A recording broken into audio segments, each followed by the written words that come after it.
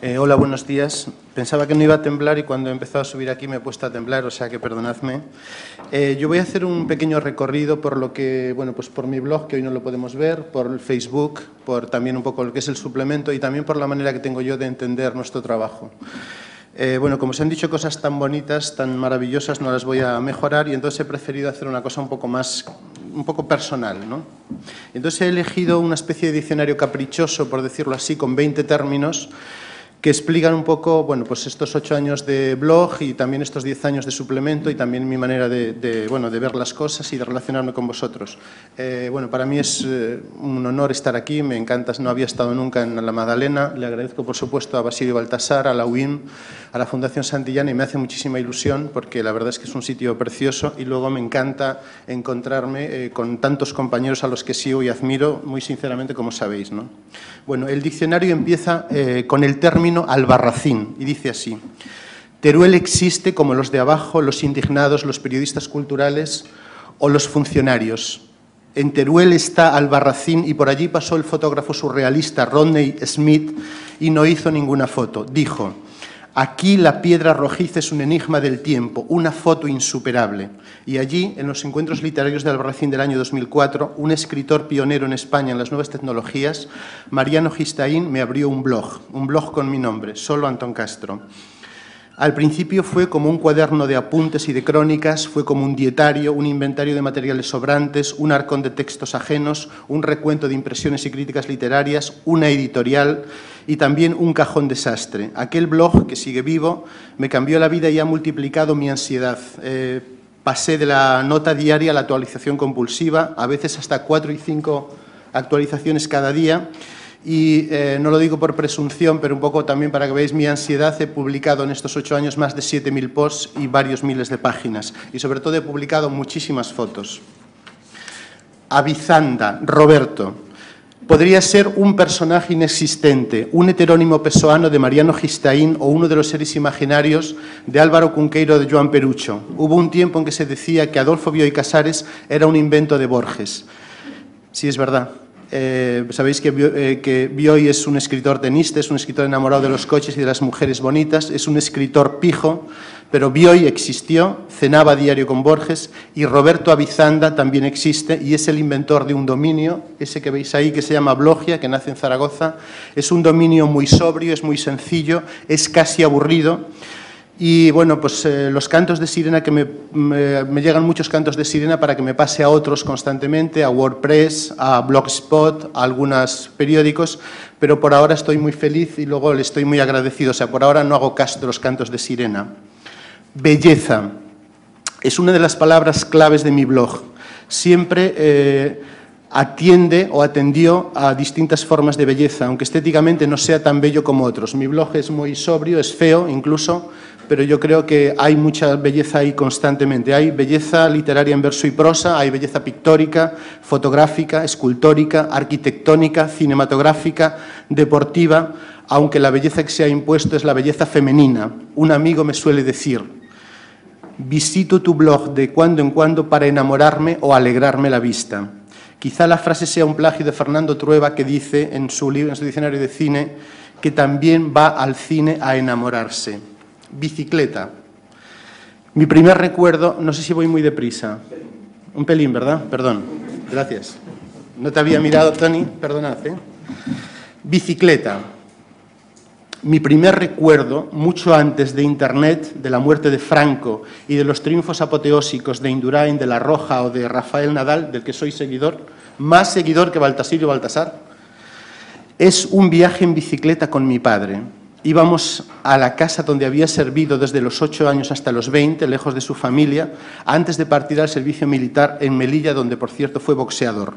Yo me abrazaba a mi padre como el niño del fotógrafo Elliot Erwitt se abrazaba a su padre a una barra de pan. No podemos ver la foto, pero es una foto famosísima. Tendría yo entonces tres años. La bicicleta ha sido fundamental en mi biografía y en mi blog. Vivo en el campo y he hecho algunos miles de kilómetros en bicicleta y he escrito el libro El paseo en bicicleta, Olifante 2011, que es una mirada sobre la presencia de la bicicleta en la música, en la literatura, en la pintura, en la ciencia y en mi propia vida. Y he llenado mi blog de bicicletas. He sacado a Nico, la cantante de la Velvet Underground en bicicleta, a Rita Haibor, a Humphrey Bogart, a Horacio Quiroga, que por cierto se fue a París y dijo que lo mejor que le había pasado era haber visto la bicicleta. El escritor uruguayo Horacio Quiroga, como sabéis, eh, fue, fundó en Salto un, club, un club de bicicleta y lo primero que hicieron fue un viaje en bicicleta de 90 kilómetros. Y también he sacado a Eva Amaral, la cantante, eh, ya sabéis, Eva Amaral y Juan Aguirre, ese grupo de pop, también han salido en bicicleta en mi blog.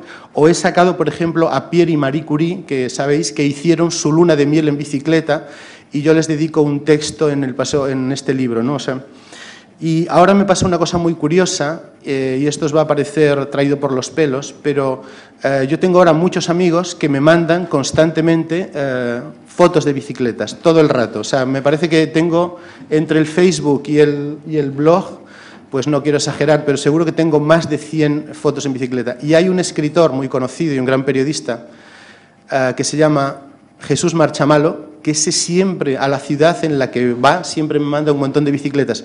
Y veranea en Santander y entonces yo recibo siempre tres o cuatro bicicletas de verano desde Santander.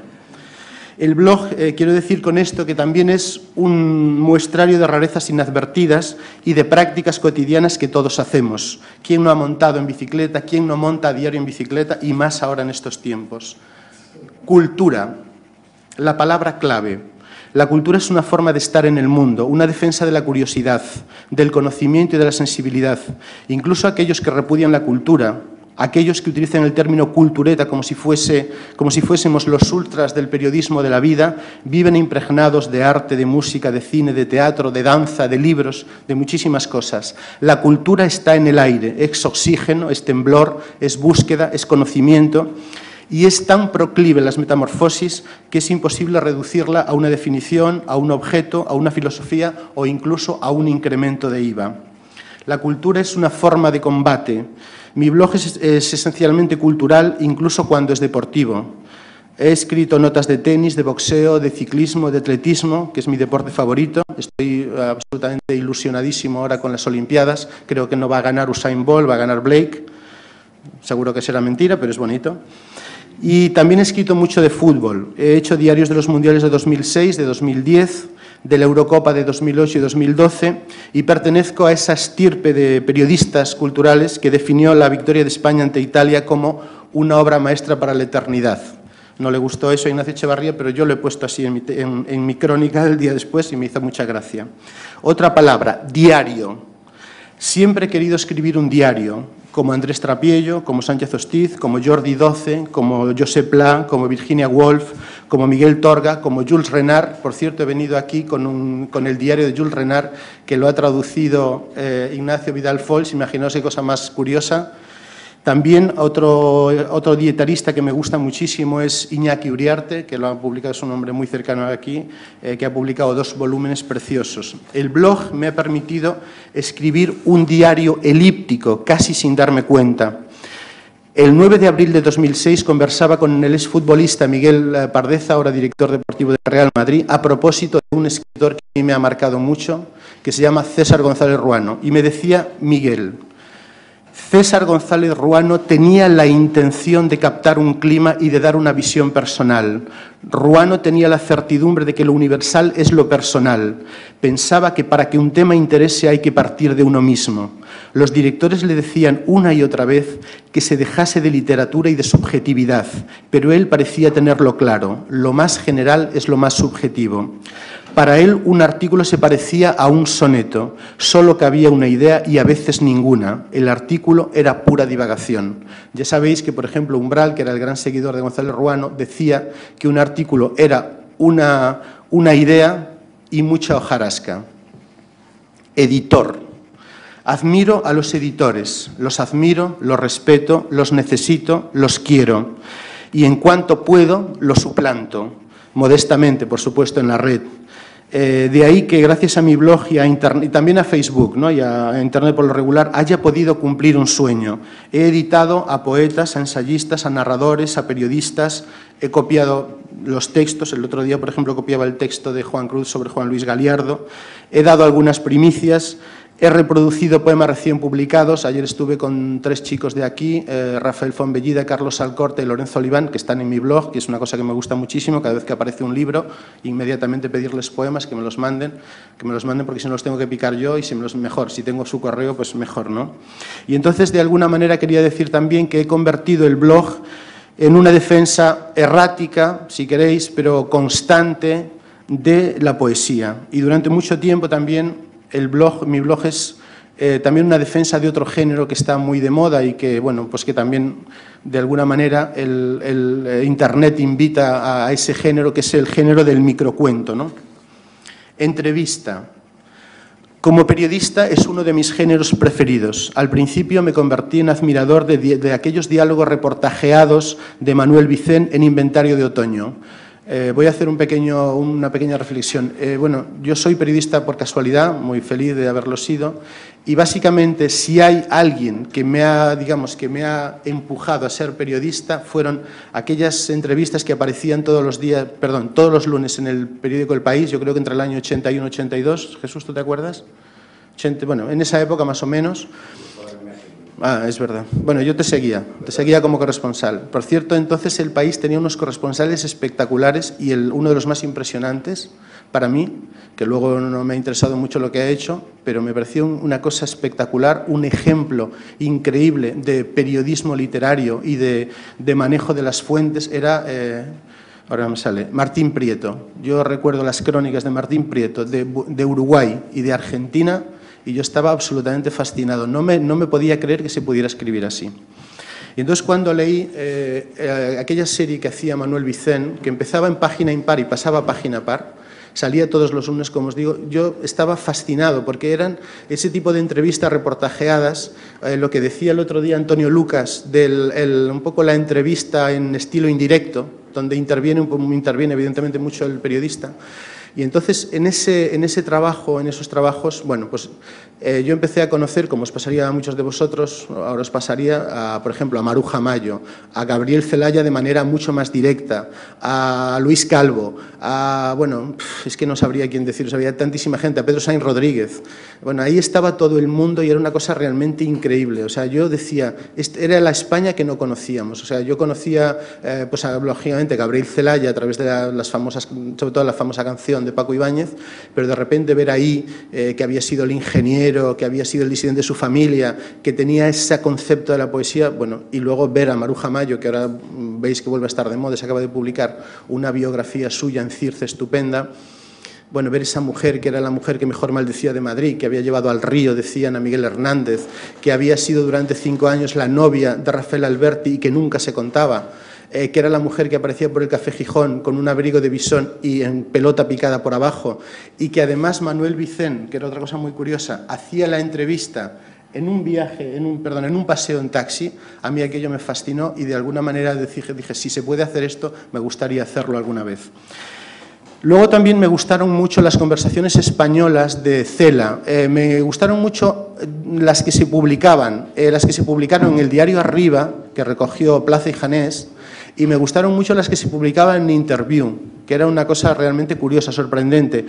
Y bueno, entre los entre, he sido muy seguidor de entrevistas de Rosa Montero, de González Ruano, tiene un libro precioso que recomiendo que se llama Las palabras quedan, del umbral de mis queridos monstruos, de Elena Pita, de Natibel Preciado, de Antonio Lucas, de Juan Cruz, que está aquí, pero que él lo sabe, es una persona que a mí me ha sido muy importante en mi vida de Xavi Allen. Xavi Allen, solamente lo hemos hablado una vez, es, trabaja en La Vanguardia y bueno, realmente yo he leído eh, un, libro que ha hecho de entrevistas con los premios Nobel, creo son 16, Sergio.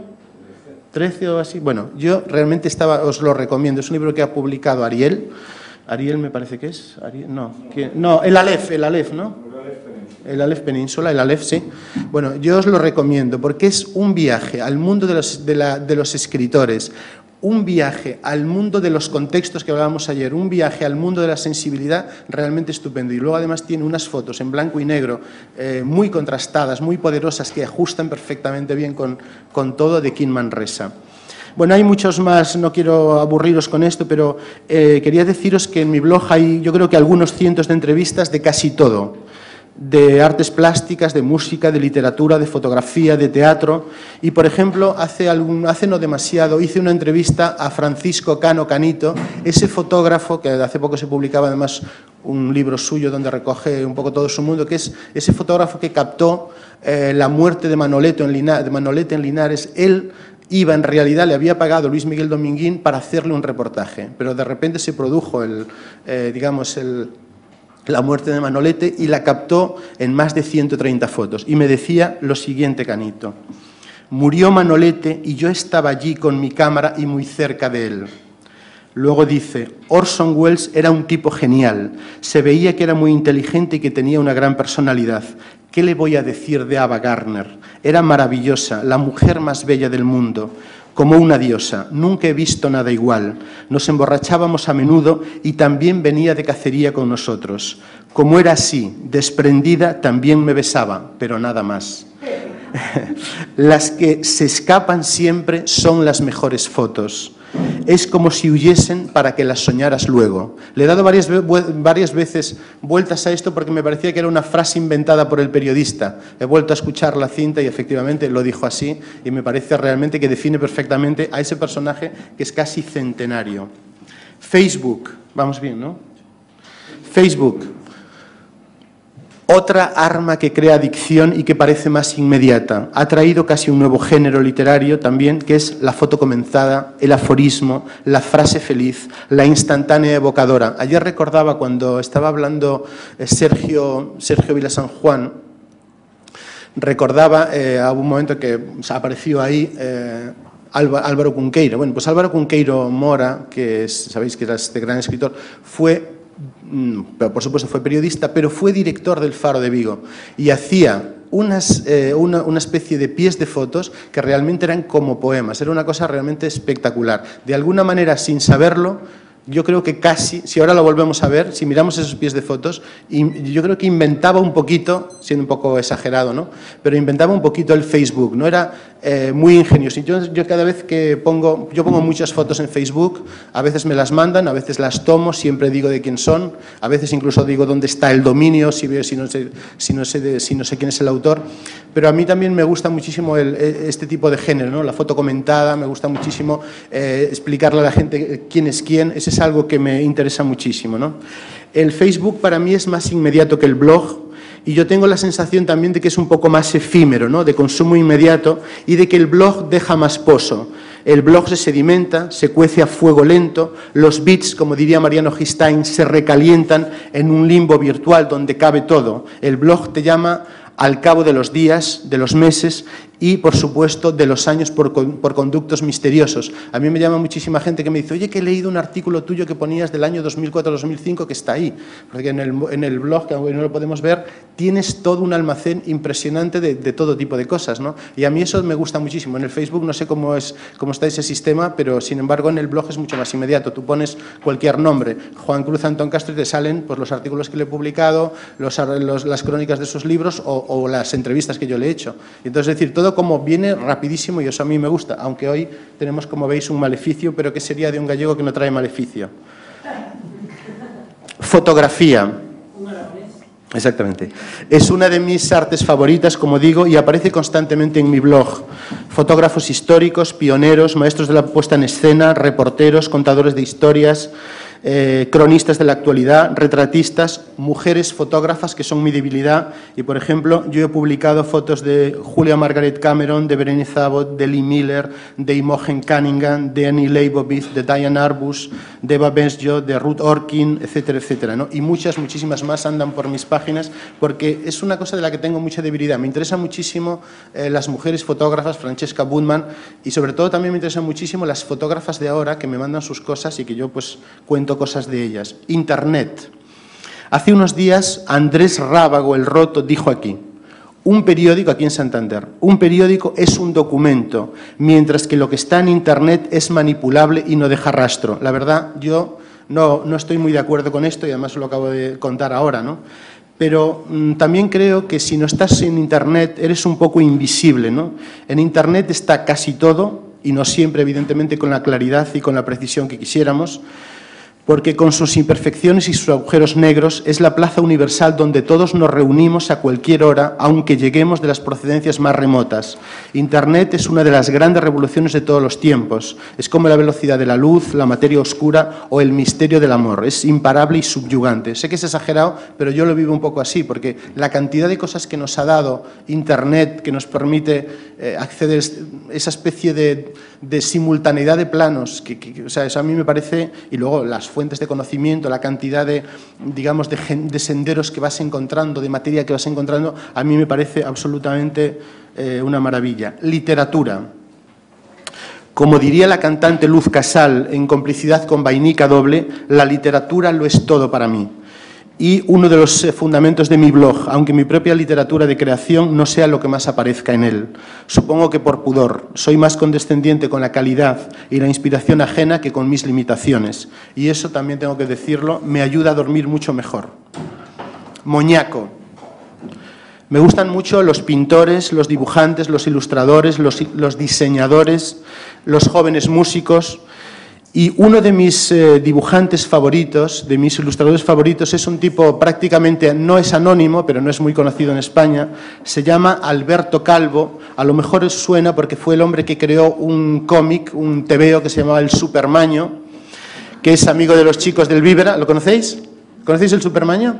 No, vale.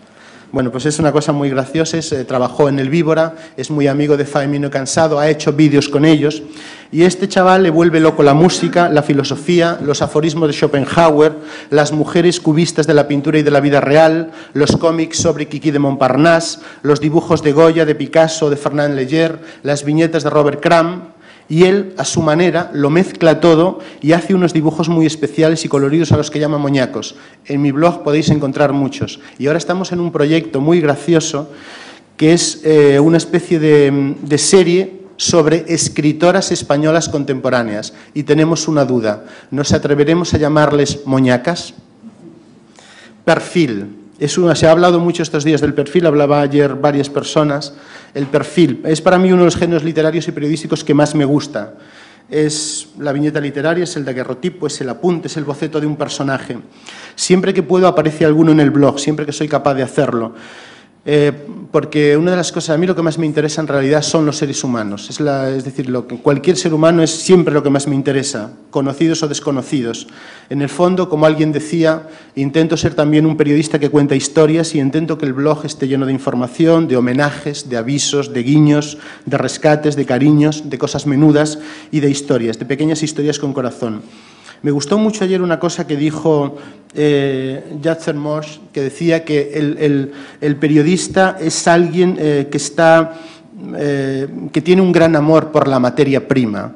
Y también me dijo me gustó mucho otra cosa que dijo, que bueno, creo que era una cita glosada por él, que el periodista es alguien que intenta coger las liebres que huyen. Pues yo creo que a mí me interesa muchísimo eso también. Es decir, eh, creo que un periodista, entre otras cosas, es alguien que, tiene también una especie de estrategias de, seducción que no son antinaturales, que son normales, que forman parte de su forma de ser. Bueno, pues a mí me gusta mucho eso y, me gusta, evidentemente, pues contar muchas historias. Yo digo que a veces me gusta contar historias con corazón.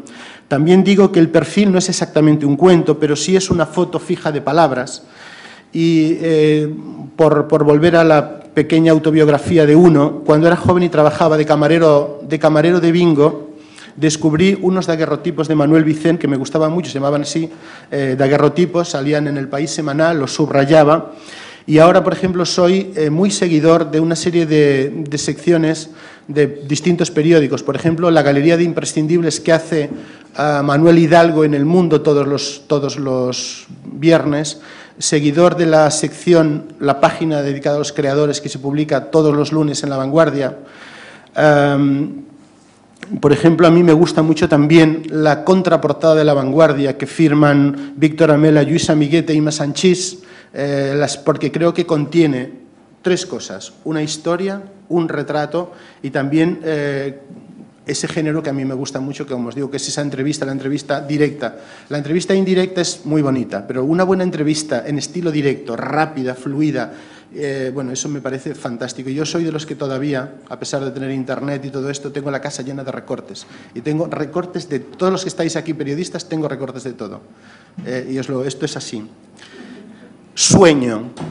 El blog también me ha permitido vivir una segunda vida, tener segundas y terceras oportunidades, rescatar una entrevista, un reportaje que había eh, amputado en el periódico. El blog me otorga continuidad y libertad. Hablo de mi madre, hablo de mis amigos, hablo de mi suegra, hablo de mis hijos escritores, hablo de mis hijos futbolistas. Tengo cinco hijos, por eso no os extrañéis. O, por ejemplo, hablo de libros que me han conmovido, Recientemente me gustó muchísimo el, libro de Daniel Penac, El diario de un cuerpo, me pareció un libro espectacular. O, por ejemplo, ya que estamos en Santander y lo conocí, lo entrevisté mucho, me ha gustado muchísimo esta antología que ha publicado Nórdica, ilustrada por Pepe Hierro. O sea, me ha parecido uno de esos libros, eh, bueno, realmente preciosos. Suplemento, Artes y Letras de Heraldo de Aragón. Bueno, como decía Basilio, hace diez años que dijo ese suplemento. Antes estuve en un periódico que se llamaba El Día de Aragón eh, y ahí dirigí un suplemento que se llamaba Imán, en honor de la novela Imán de Ramón Sender. Luego estuve en el periódico de, eh, Aragón 10 años, entonces ahí dirigí dos suplementos, uno se llamaba Rayuela y otro La Cultura, y ahora llevo 10, 11 años en Heraldo y bueno, pues aquí haciendo artes y letras, ¿no? Eh, una de las cosas que hemos hecho, gracias también un poco a una idea del director, que ahora es un hombre joven, que se llama Miquel Iturbe, pues publicamos en cada, cada, número, publicamos una portada de un artista, una portada casi siempre inédita, y hemos publicado hasta ahora 386 portadas, es decir, donde aparece todo, aparece un escultor, aparece un, aparece un fotógrafo, aparece un pintor, aparece un diseñador, aparece un ilustrador. Y bueno, a mí me gusta mucho eso, me gusta siempre tender muchos puentes a la gente joven que está trabajando. Y luego me gusta que los periódicos sean también, digamos, bueno, eso os pasa a todos los que hacéis suplementos. Está aquí Sergio Vila San Juan, que tiene unas centrales espectaculares dedicadas a los creadores. Pero me gusta mucho siempre establecer, digamos, esa especie de relación, evidentemente, con la gente que está creando. El suplemento, al fin y al cabo, como alguien decía, el suplemento y el periódico es también eh, tiene voluntad de servicio público y con el suplemento yo lo tengo muy clarito. ¿no? Eh, el otro día, ayer también decía, porque a veces ya no sé cuántos días llevo aquí, ayer también decía Jesús Teberio que no hay, que no hay suplemento. Sí, ¿no tenéis esa sensación? Entonces yo estaba pensando esta mañana en Jesús Teberio, ahora allí en, el, en la habitación, y digo, ¿pero cuándo habló Jesús Teberio? ¿Ayer, el lunes, anteayer? Habló por la mañana, pero bueno, casi hasta ahora, ¿no? Entonces, eh, decía él una cosa más o menos, que no hay suplemento que no esté bajo sospecha, ¿no? Porque de alguna manera, pues bueno, los suplementos siempre tienen relación con los pues con la gente que trabaja en el periódico, nunca sabes, eh, siempre hay como un punto de suspicacia, siempre tienes la cuestión del amiguismo. Yo eso lo he solucionado muy claro, aunque he publicado 12, 14, 15 libros, no lo digo para presumir de nada, yo no he publicado jamás... Ya, sí, me refiero a los 10 años estos. Eh, yo no he publicado nunca ninguno de mis libros en Artes y Letras de Heraldo de Aragón. Y lo podría hacer, pero no lo quiero hacer, porque es que duermo tan bien. O sea, no tengo, sí, no tengo, no tengo que dar ninguna explicación a nadie. Luego, además, siempre tendría la duda de que por qué salgo yo y no salen los 67.000 escritores españoles que no han aparecido o los 1.300 escritores aragoneses que publican como yo al año, ¿no? Entonces, bueno, no lo digo por presumir, pero como ayer hablasteis de este tema, yo lo resuelvo así, ¿no? Y estoy muy contento.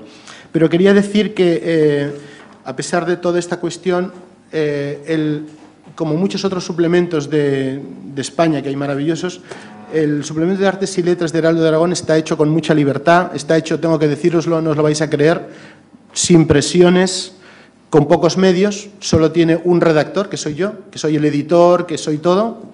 Los errores son míos, tenemos críticos a los que ahora no lo digáis a nadie, espero que nadie nos entere, ahora no podemos pagar a los críticos, pero está hecho con mucho entusiasmo y con el ánimo de mejorar cada día, ¿no? Y bueno, para mí es dramático una cosa, no está todo, no puede estarlo, cosa que me da muchísima pena, porque por otra parte yo creo que nunca se ha escrito tanto como ahora, nunca se ha publicado tanto. Y a mí personalmente, eh, a, mí no me inquieta, no sé, no, yo no lo veo mal. Me parece que, bueno, pues que hay mucha gente que escribe, hay mucha gente que piensa, hay mucha gente que sueña, hay mucha gente que se enamora, hay mucha gente que necesita salir en los periódicos, y yo no le voy a poner puertas al campo. ¿Por qué le voy a poner puertas al campo a los escritores que quieren escribir?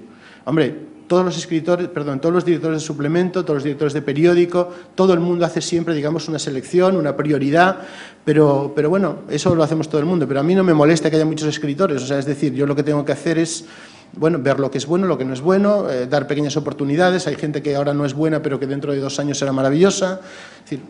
yo en ese sentido soy como muy...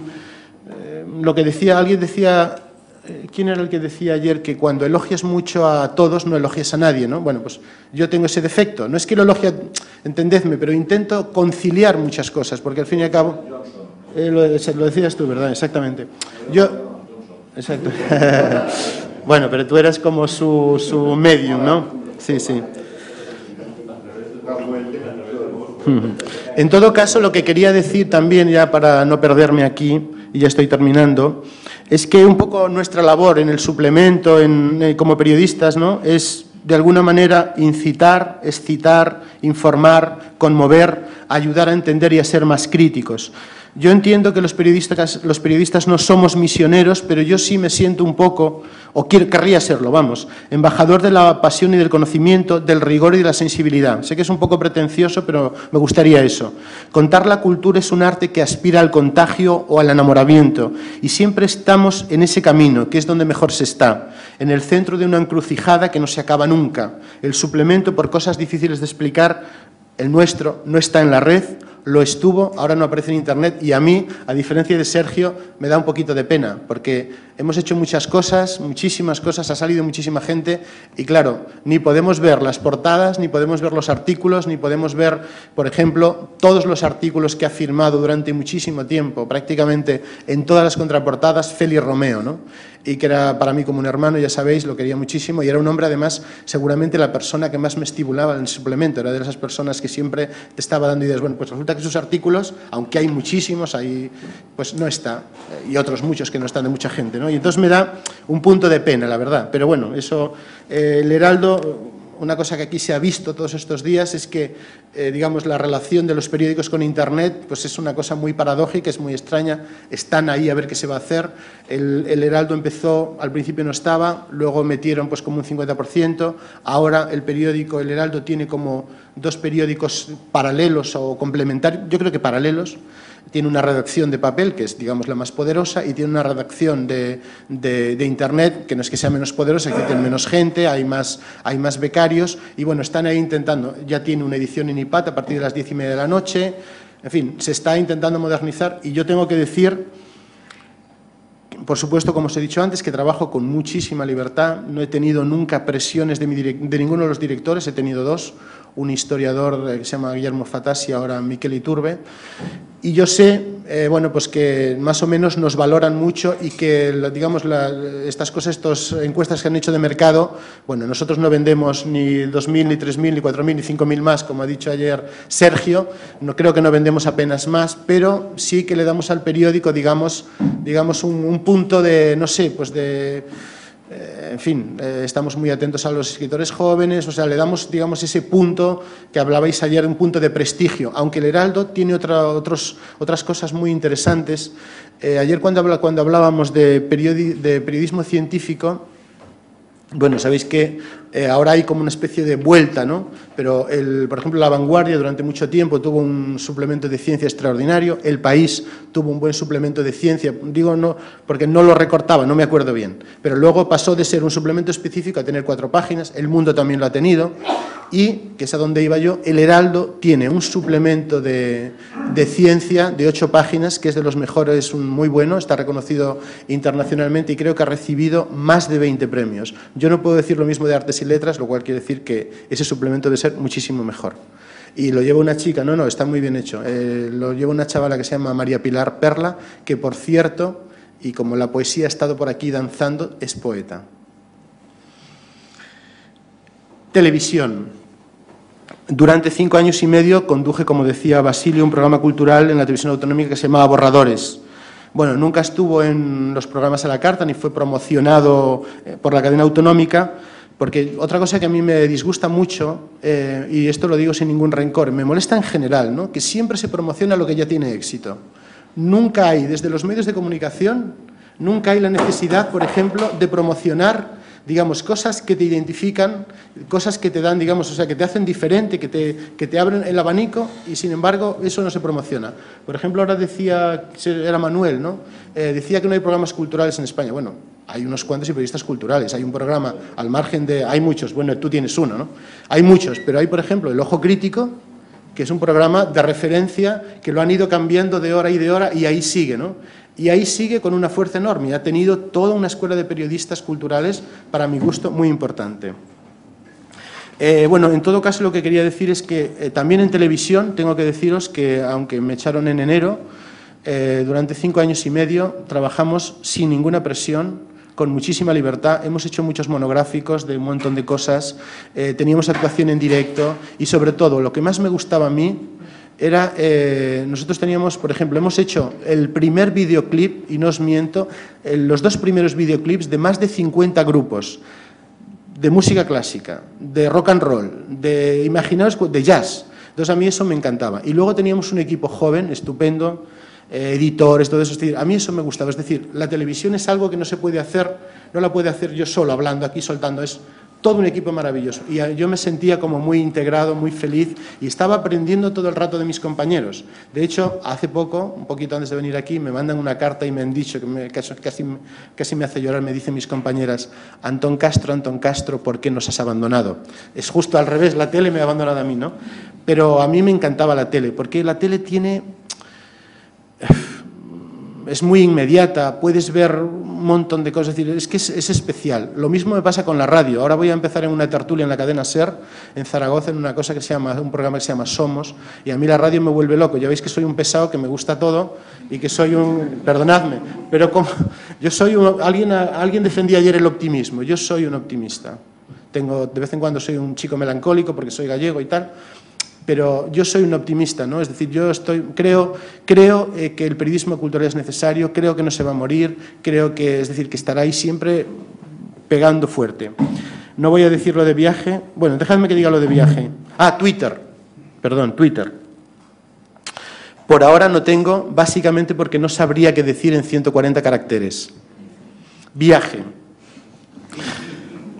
El blog y el Facebook te empujan a realizar viajes constantemente, viajes reales, viajes simbólicos, excursiones hacia los otros y hacia ti mismo, viajes hacia la creación. El blog es en sí mismo una travesía en mil direcciones, yo la entiendo así.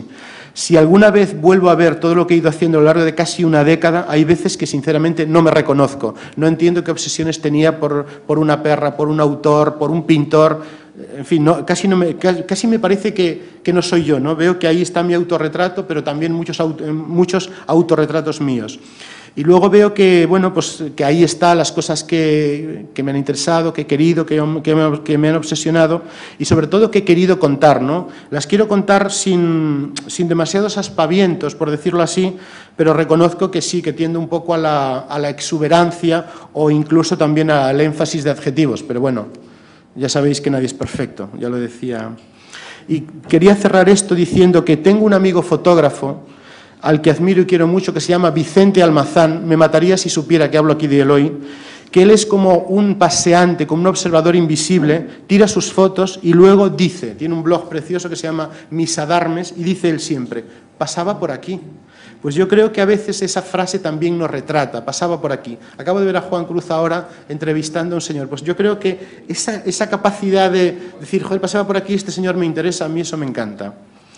Zaragoza, y termino.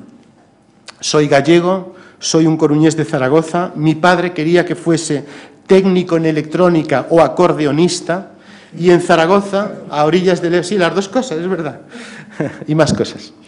Bueno, en Zaragoza, a orillas del Ebro, he encontrado muchas cosas buenas, maravillosas.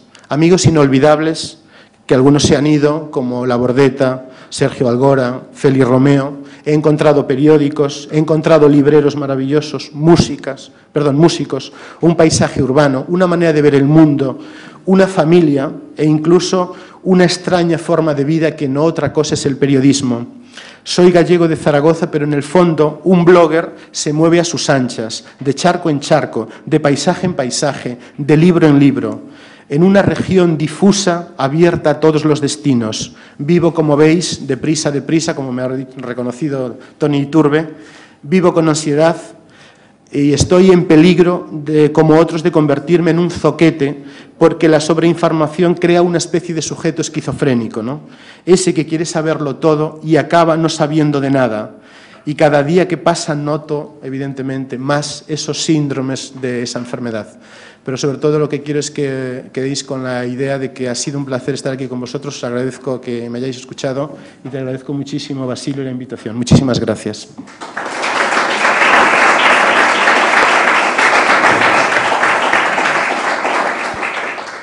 Oye, Antón, ¿cuánto tiempo duraba el programa de televisión?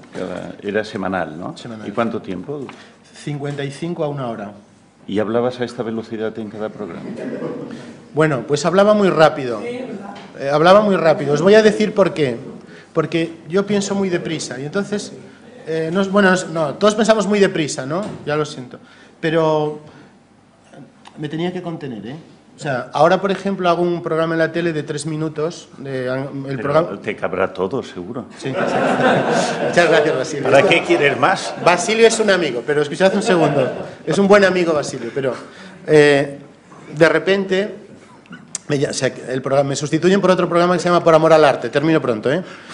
Y, y entonces me dicen que me dan tres minutos para hablar de libros. Entonces el primer día eh, que grabamos el programa nuevo, no me conoce la nueva productora y tal, y entonces me dicen, bueno, Antón, tal, vamos a, tú ya tienes experiencia y no sé qué. Y claro, la gente que no, era, no, era, no era mi equipo se quedaron alucinados. Y entonces yo les dije, no os preocupéis, yo soy muy disciplinado. Vosotros cuando veáis que me, me hacéis así, y yo voy a parar, yo voy a parar, voy a parar. Entonces, bueno, ahora ya están acostumbrados, hablo un poquito más despacio, eh, aunque no os lo creáis, yo leo todas las mañanas poesía para mi madre y para mi suegra, leo textos todos los días y no les leo tan deprisa.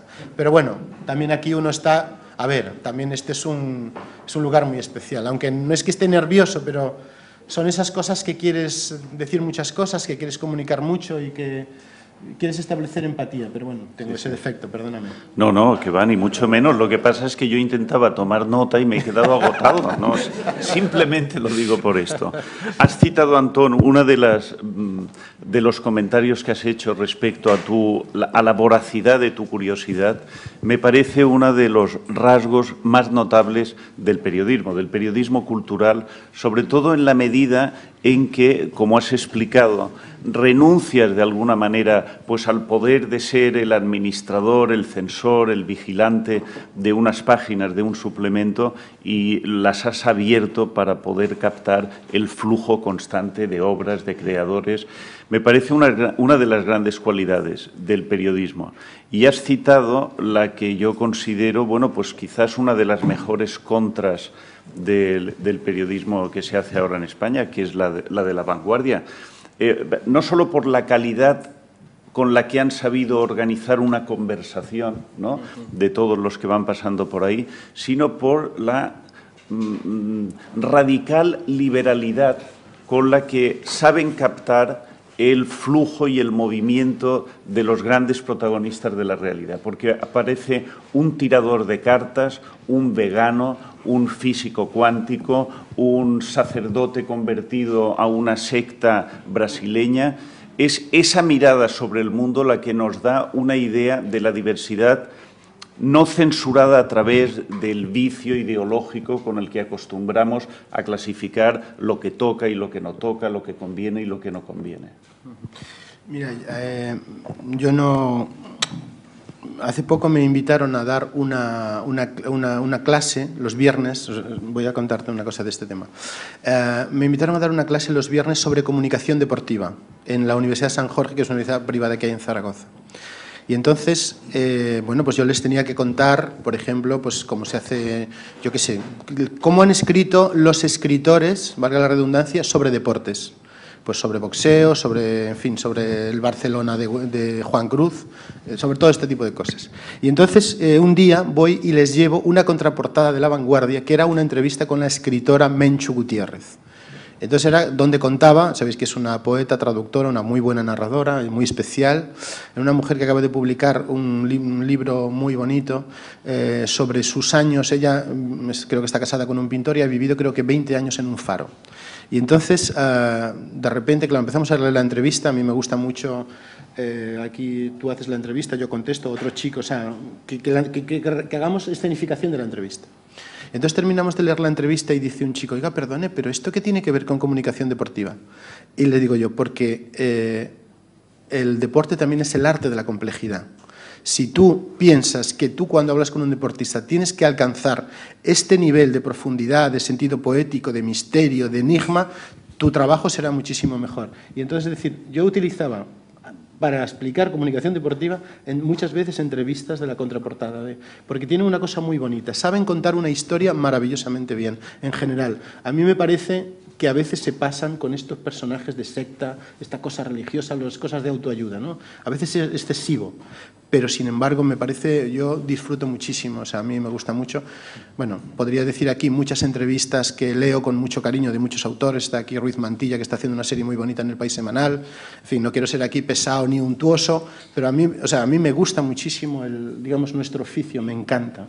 Y me sirve, eh, ya termino, para mis libros. ¿no? he publicado unos cuantos libros de ficción y, por ejemplo, os puedo contar un, pequeño detalle. Soy un marido consorte de médico y entonces vivimos un verano, bueno, vivimos tres veranos en un pueblecito que, está, que se llama Jabalambre.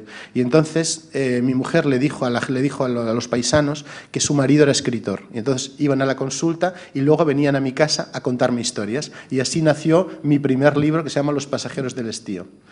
Y cuando ya había tenido esa pequeña experiencia de casi periodística, de trabajo y de publicar un libro de ficción, me voy al maestrazgo y publico, también llego allí y viene una señora a contarme todos los días un montón de historias que parecían totalmente míticas. Ahora se acaba de reeditar este libro, se publicó primero en Destino, se llama El Testamento de Amor de Patricio Julve. Y bueno, me gusta mucho ese procedimiento, es decir, o sea, todo lo que yo he hecho eh, siempre arranca del periodismo. Yo siempre digo una cosa, y es que las mejores historias que yo he tenido jamás, las historias más conmovedoras, las historias que me han arrancado, que me han emocionado profundamente, son las historias de la vida. Y siempre son, generalmente, las más inverosímiles. Si alguien puede ayudarme. Oye, Antón, en esta línea familiar que efectivamente impregna tu blog y que yo creo que le da mucha humanidad, que creo que es una de las características de tu blog, que es un blog cultural digamos, tremendamente humano en el mejor sentido de la palabra, has introducido un concepto que me deja muy perplejo y me gustaría que ampliaras, que es eso de que les lees poesía cada mañana a tu madre y a tu suegra. ¿Cómo, cómo se hace eso? Bueno, yo ya sé que soy un friki, pero vosotros llevadlo bien. No, ah, lo más gracioso, esto sí que os va a hacer mucha gracia, sí, sí, esto os va a hacer mucha gracia, os va a encantar. Bueno, este, eh, este año yo he sido entrenador de primera regional del Garrapinillos.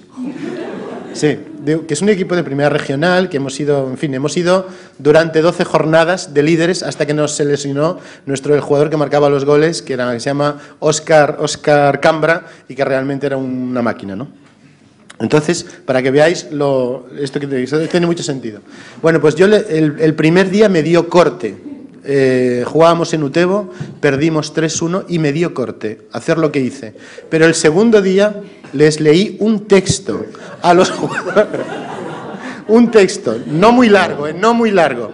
E y un poquito más despacio, Tony, un poquito más despacio. Un texto, no, no, no, no, un folio y medio, ¿eh? o sea, entre...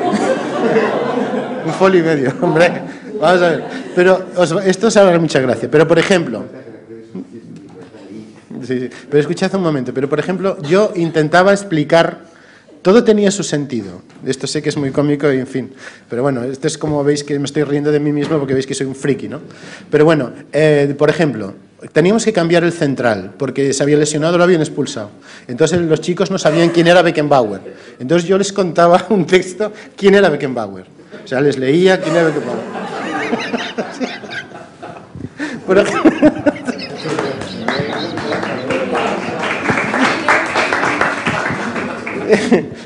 otra. Por ejemplo, jugábamos contra el mejor equipo, el equipo, digamos, es que...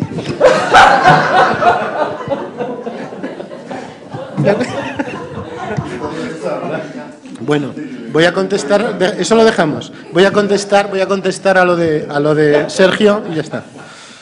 Bueno, en mi casa mi, mi madre es, es gallega, es, es analfabeta, es prácticamente analfabeta, ha tenido un ictus cerebral, pero la mujer ha ido recuperando poco a poco. Y luego está mi suegra. Mi suegra, que se llama Isabel, es un personaje muy especial. O sea, no he conocido, no, no, esto es verdad, no he conocido un ser humano como ella. O sea, es decir, en fin, no quiero pasarme aquí. Mi madre es de otra manera, es gallega, es más misteriosa, poco habladora, y entonces desayunamos juntos todos los días sobre las 9 de la mañana cuando están las dos en casa. Y entonces yo, antes de, me, me levanto pues a las ocho y media y voy a buscar lo que quiero leerles. Siempre busco, bueno, pues les he leído de todo. García Lorca, que habla de los puertos de Cabra, por cierto. García Lorca, Pepe Hierro, o sea, todo, les he leído todo, microcuentos, de todo. Les leo cuentos infantiles. Yo soy un loco por los cuentos infantiles ilustrados. Y la verdad es que para mí es una cosa maravillosa. O sea, y mi suegra además eh, se conmueve, pero mi madre me dice, yo le pregunto, pero mamá, ¿qué te parece esto? Ay, meu fillo, todo esto saliu da súa cabeza, que cacholiña ten ese home?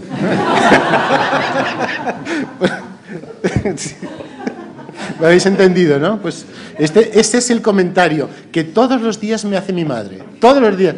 José Hierro, ¿qué cabecita tiene ese hombre? Si todo eso nació de su cabecita loca, pues, ¿sabes? Pero la verdad es que es un momento para mí muy bonito, precioso. O sea, yo me he ido de mi casa a los 18 años, no he vivido con mi madre, fijaros, tengo 52 no he vivido con mi madre. Entonces, es como recuperarla, ¿no? Y es como recuperarlas a las dos y, bueno, para mí es una experiencia preciosa y, y también doy salida a los muchos libros que me interesan y que no puedo reseñarlos.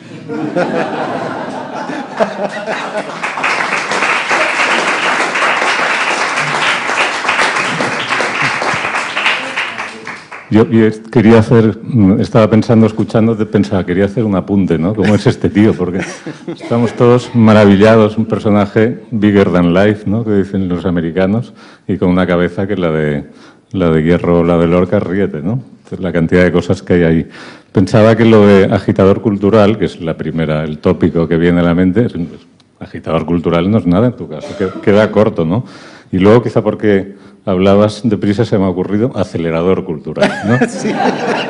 Que bueno, me ha parecido que no estaba mal, pero al final he concluido que, lo que eres es, un estimulante cultural, ¿no? Un estimulante del entusiasmo y del conocimiento cultural. Y si algo tiene que ser el periodismo cultural es eso. Por lo tanto, te felicito efusivamente y te doy las gracias. Muy amable. El bueno es él, ¿eh? no penséis que soy yo, ¿eh? el bueno es Jackson. ¿eh?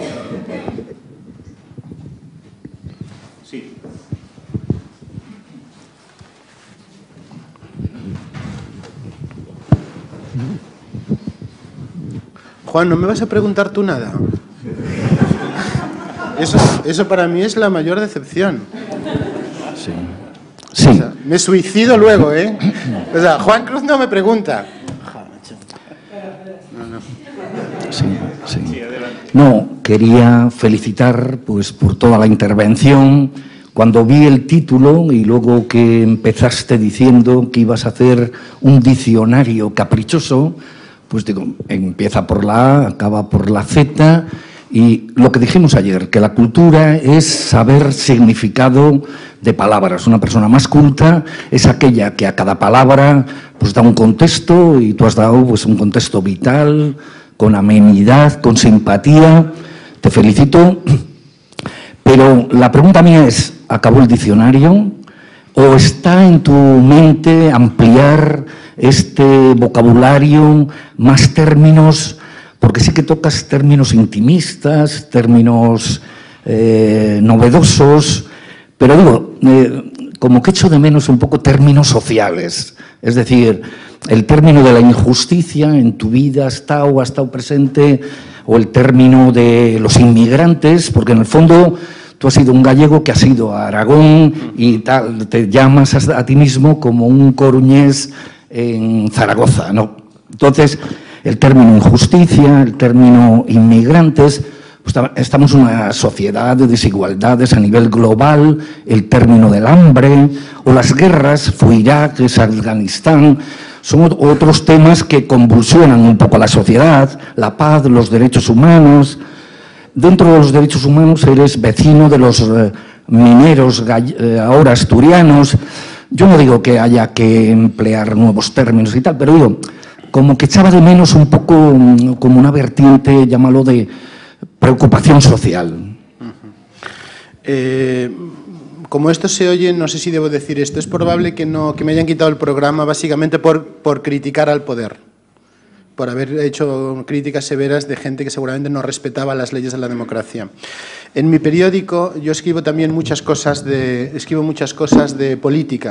Eh, tengo, todos los domingos tengo una columna que se llama Cuentos de Domingo, muchos se pueden encontrar, y donde he sido durísimo, bueno, duro, tampoco me voy a poner pesadito, he sido duro pues con, se pueden imaginar, con Rajoy, con Rodríguez Zapatero en otros momentos, he defendido por supuesto a los mineros, he defendido, es decir, es una cosa que forma parte, no he querido traerlo aquí, pero evidentemente cuando digo que la cultura es una forma de combate, me refiero también a la cultura defiende los derechos humanos. Yo no quiero, eh, a, mí no me gustan los países que no respetan los derechos humanos que yo quiero para mí. Eh, quiero decir que, pero vamos, lo que usted me dice pues me parece correcto. No lo he dicho, mm, por supuesto las palabras, hay muchísimas más palabras. Eh, le he pasado esto a esta nota así muy, muy urgente a mi mujer y me empezó a sacar como 27 palabras sobre mí o sobre mis preocupaciones que no, le que no, que no había utilizado. Entre ellos, por ejemplo, entre ellas la palabra injusticia.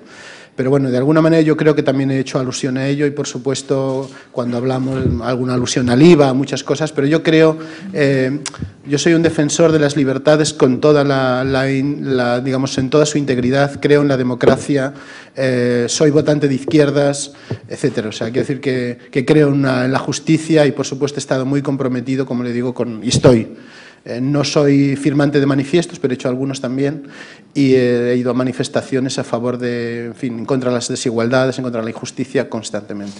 No le voy a decir no soy un revolucionario, no soy un rebelde, pero bueno, creo que en ese sentido creo que es, en fin, tengo un pasar. Bueno, ya que me, ya que eres periodista. Sí, ya terminamos. Ya que eres periodista, te informo de que acaban de detener en Cádiz a los tres miembros de los Grapo que secuestraron a Publio Cordón. Y han encontrado la casa donde estuvo secuestrado. Pero bueno, es una información. Hombre, vinculada con Zaragoza, muy vinculada. Mi pregunta, mi pregunta es sobre tu manera de preguntar. ¿Cómo hay que preguntar en una entrevista a una persona, a un escritor? ¿Cómo tiene uno que hacer una entrevista? ¿Lo tiene que abrazar? Lo tiene que agredir, agredir, lo tiene que eh, apapachar, como dicen los latinoamericanos. ¿Cómo tiene que ser? Yo creo que hay que preguntar con el máximo respeto y de igual a igual, ni hay que ponerse por arriba ni por abajo. Eh, y es yo es lo que he hecho siempre. Y luego también creando un clima de confianza. Solo os cuento un detalle, porque además ya estamos fuera de tiempo. Eh, en Zaragoza había un, el director de la General Motors, se llamaba Juan José Sanz. Entonces nadie eh, había conseguido sacarle una palabra que no fuera relacionada con el mundo de los coches. Y yo hacía una sección de dos páginas en el periódico de Aragón que se llamaba En primer plano. Pedí una entrevista con él. Dice, mire, yo he leído sus entrevistas, usted habla mucho de las infancias, habla mucho de no sé qué. Yo que sepa que de esto no le voy a, no le voy a contestar a nada. Le dije, no se preocupe, yo le voy a preguntar y usted me contesta lo que quiera. Y cuando me dice esa pregunta no, seguimos hablando. Bueno, nadie sabía nada. Tenía un, jefe de, comunicación que se llamaba Manuel Garicano, que yo creo que sabía que era de Burgos y poco más. Bueno, pues ese señor no me contó de manera sencilla y suave y cariñosa, sin, sin ningún aspaviento que decía antes, no me contó cuando hacía el amor, que lo hacía a media tarde con su mujer, porque no se lo pregunté. ¿Y cómo sabes que fue a media, tarde? Porque me lo contó.